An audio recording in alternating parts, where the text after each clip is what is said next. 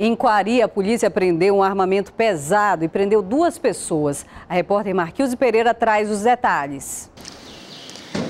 Isso mesmo, Marcela. Foi ontem à tarde em uma comunidade ribeirinha de Coari. Os policiais militares procuravam por uma lancha que havia sido furtada e acabaram apreendendo cinco armas de grosso calibre, entre elas metralhadoras e um fuzil de uso exclusivo das Forças Armadas que foi roubado do batalhão do Exército de Tefé. A polícia recebeu uma informação ali naquela região de que piratas do Rio estariam escondidos em uma casa. Os policiais foram até lá mas eles conseguiram fugir. Apenas um foi preso e também uma jovem de 19 anos acabou presa depois. Ela é conhecida na região como a loirinha dos piratas. A polícia continua na área investigando. As armas e as munições foram levadas para a delegacia de Coari. Marcela, Marquilze Pereira para o Jornal em Tempo.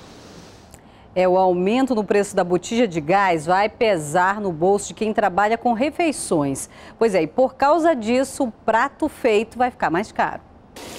O sabor da comida pode até ser o mesmo, mas o preço deve ficar mais salgado. Neste restaurante na zona centro-sul da cidade, são gastos em média 200 reais por semana com as botijas de gás. E como o valor do produto aumentou em média de 55 reais para 60, esse gasto deve chegar a 300 reais. E para tentar evitar tanto prejuízo, eles pretendem aumentar o prato de 12 para 13,50. A gente vai ter que fazer um pequeno reajuste no valor final do, do prato, em torno de um real, um e cinquenta, também para não afastar os clientes, né? Não não aumentar tanto o valor para a gente não perder clientela, mas a gente vai ter que fazer algum pequeno reajuste. Pois é, e no meio disso tudo, quem vai acabar sentindo no bolso também é o Moisés. Ele almoça todos os dias fora de casa e agora vai ter que reorganizar o orçamento. O que eu gasto em média de 60, 70 reais,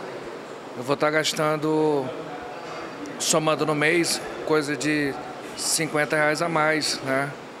Mas a preocupação não é só dos donos dos grandes restaurantes. Os menores, como esses no centro da capital, também vão sentir no bolso. Por aqui, a refeição custa entre 10 e 12 reais. E os proprietários querem manter o preço, que é para não espantar os clientes. É, o gás aumentou, mas a gente vai tentar segurar. Até onde não achar que aguenta, eu passo um, reajustezinho para o meu. Mas é só um pouco. E quem almoça por aqui todos os dias teme pelo aumento do prato. Rapaz, vai ficar meio complicado, né? A gente vai ter que deixar de vir almoçar aqui para procurar um local mais barato, infelizmente. O reajuste do gás é de 9,8%. A gente fala agora de música porque a festa das patroas levou 30 mil pessoas ao sambódromo no no sábado, né? O evento marcou o aniversário de um ano da Nativa FM. Ela entrou no palco levantando o público, é claro, no melhor do ritmo sertanejo. O show tá incrível, espero que a galera curta demais, espero poder voltar mais vezes. E o público apaixonado pela chamada sofrência compareceu em massa. Eu quero saber se você curte uma sofrência.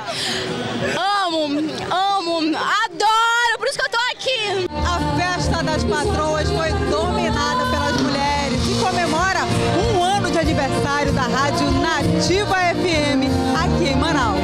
E com direito a parabéns. É o aniversário de um ano da Nativa! Parabéns pra você nessa data querida! Tata Lima é locutora da Nativa em São Paulo e junto com Magali Fortes animou o público no Sambódromo. Deixar aqui o nosso parabéns à Nativa Manaus, que vem fazendo um trabalho tão lindo com os nossos ouvintes, abraçando e agradecer Manaus também por abraçar a Nativa, entender o nosso propósito. A festa foi feita para o público que sempre acompanha a Rádio Nativa FM, 100% sertaneja.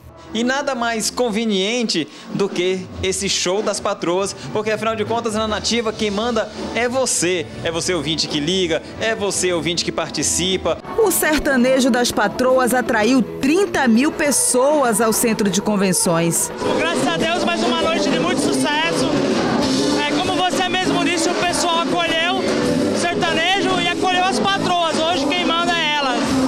A festa teve o apoio do grupo Raman Neves de comunicação e foi sucesso em Manaus. É um sucesso atrás do outro, né? Essa nossa parceria com a fábrica de evento vem só nos surpreendendo.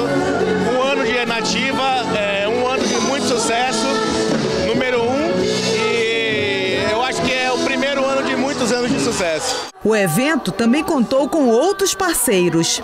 Alvancar, que é uma marca de sucesso, que é um cartão atende ao interesse do servidor público ou do funcionário da empresa privada, sem cobrar juros, sem cobrar tarifa. No palco, Maiara e Maraísa também fizeram o público dançar muito no sambódromo. As irmãs cantaram sucessos consagrados, como 10%. Teve Marília Mendonça e Vanessa Camargo para encerrar a festa das patroas, que sem dúvida ficou marcada nos corações de quem é apaixonado pela música sertaneja. A seguir, criança morre atropelada no Viver Melhor, zona norte de Manaus. E mais, cresce o acampamento de venezuelanos embaixo de um viaduto aqui da capital. A gente volta já.